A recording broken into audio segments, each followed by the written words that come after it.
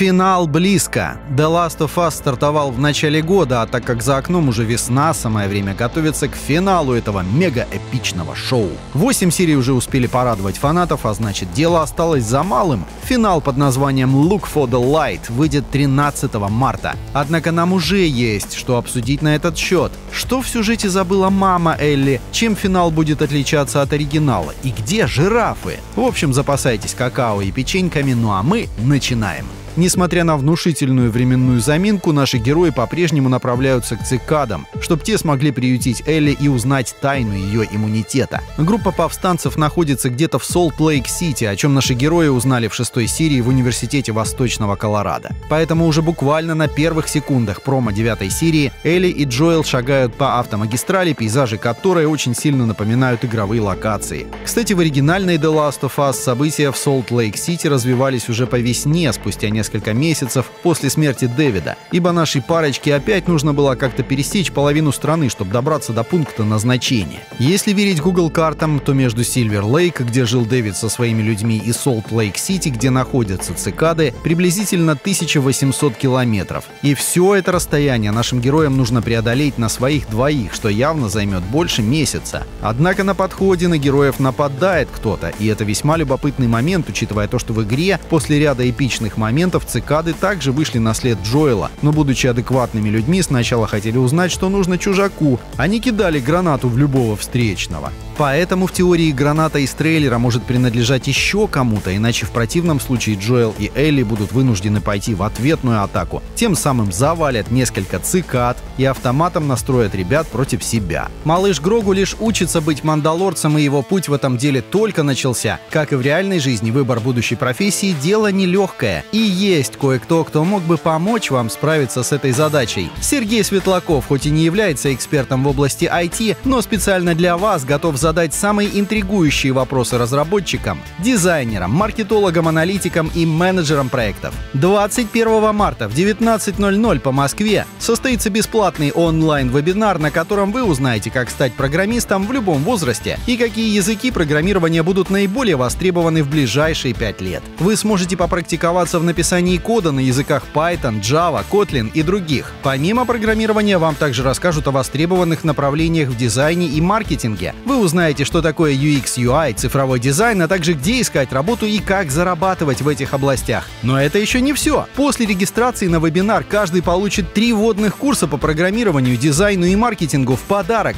чтобы более детально ознакомиться с каждым направлением. А самое классное, те, кто будет онлайн в день вебинара, смогут поучаствовать в розыгрыше 10 онлайн-курсов Skillbox со скидкой в 99%. Не упустите возможность познакомиться с востребованными направлениями в программировании, дизайне, маркетинге и управлении, получить бесценный опыт от профессионалов и выиграть онлайн-курсы со скидкой. Зарегистрируйтесь на бесплатный вебинар по ссылке в описании или по этому QR-коду.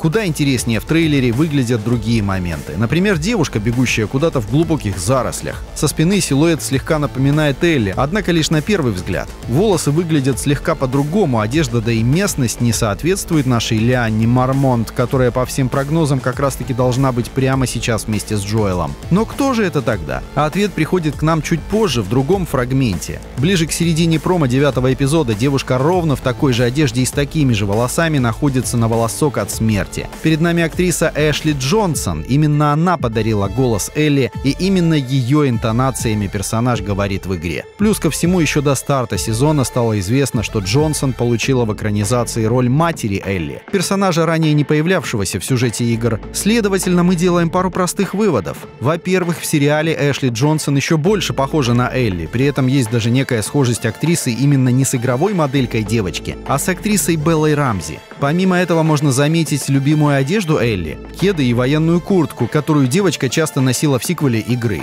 Это можно расценивать как своеобразный намек на то, что это действительно мама главной героини, и они очень сильно похожи. Во-вторых, девушка явно беременна, и скорее всего в этом небольшом флешбеке у нее случатся роды Элли. Ранее мы уже предполагали, что секрет иммунитета девушки кроется в ее матери, которая могла получить укус аккуратно на позднем сроке беременности и таким образом передать безвредную часть кардицепса Элли. И поэтому, когда девочка спустя много лет оказалась укушена, новые споры попросту не стали вступать в привычную реакцию, ибо тело Элли уже было поражено грибком. Но опять же, так это или нет, мы узнаем лишь в понедельник. Признаться честно, мы бы искренне хотели оказаться неправыми, ибо передача иммунитета или способности от беременной матери – это уже довольно избитое клише. Но откуда этому флешбеку взяться? Ведь по канону Элли вообще не знала свою мамань. А следовательно, должен появиться некто третий, кто и раскроет девочке секрет ее иммунитета. Тут на помощь приходит Марлин, лидер бостонских цикад, которая уже будет ждать Джоэла и Элли в Солт-Лейк-Сити. Глупо предполагать, что нам покажут еще одного ранее неизвестного героя, некую тайную подругу мамы Элли, которая и поведает нам о последних минутах жизни женщины. Из игрового дополнения Left Behind мы узнали, что Марлин была знакома с мамой Элли, и они как раз-таки и были подругами. А мать Элли так и вовсе была медсестрой. Таким образом, какая-то часть серии будет посвящена прошлому. И на самом деле это несколько ломает логику оригинального сюжета. Э, сейчас поясним. У нас есть девочка, которая единственная в мире получила укус от зараженного кардицепсом и не обратилась. И именно поэтому ее было так важно доставить к тем самым мифическим цикадам, которые якобы смогли бы найти лекарство от болезни.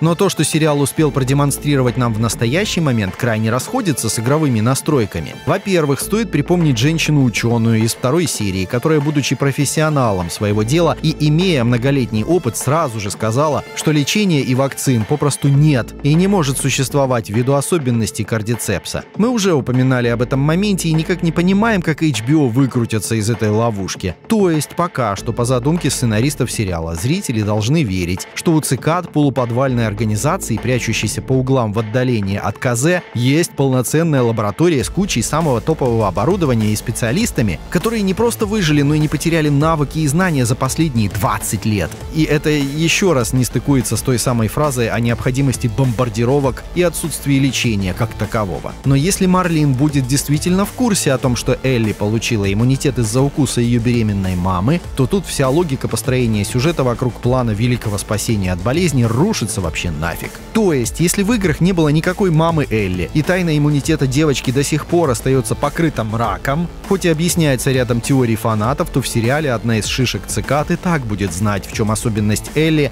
и что подобный сценарий повторить попросту невозможно. При таком раскладе выходит, что нужно будет убивать каждую беременную женщину, перед этим предварительно сделав ей инъекцию кардицепса. Да, ребенок в таком случае вырастет иммунным, и спустя много-много лет Земля очистится, ибо зараженные перестанут угрожать новому поколению. Но это же и идиотизм. Формально планета станет перенаселена мужчинами, стариками и молодыми женщинами без детей, ибо каждая бедная девушка будет вынуждена погибнуть во время родов. В общем, все идет к тому, что теория вокруг заражения беременной мамы Элли — туфта. И нужно какое-то другое объяснение или некие другие обстоятельства, позволяющие пересмотреть данную теорию в пользу логики. Ну и, конечно же, в промо девятой серии полно и других, э, более важных кадров с Джоэлом. Мы не будем прямо сейчас разбирать их, поскольку это крайне важная сцена и, по сути, ключевой момент во всем сюжете первой The Last of Us. А значит, огромный спойлер. Те, кто играли в оригинальную игру, прекрасно знают, что произойдет в финале. Ну а для всех остальных пускай это будет сюрпризом. Мы неоднократно говорили о двойственности героев The Last of Us, и девятый эпизод навесит целую гору моральных дилемм на вас, дабы вы пересмотрели свое отношение к некоторым персонажам. К слову, если вы были внимательными, то в промо восьмой серии уже был фрагмент из самого-самого конца эпизода. Так что рассчитывать на другую концовку первого сезона а-а, не стоит.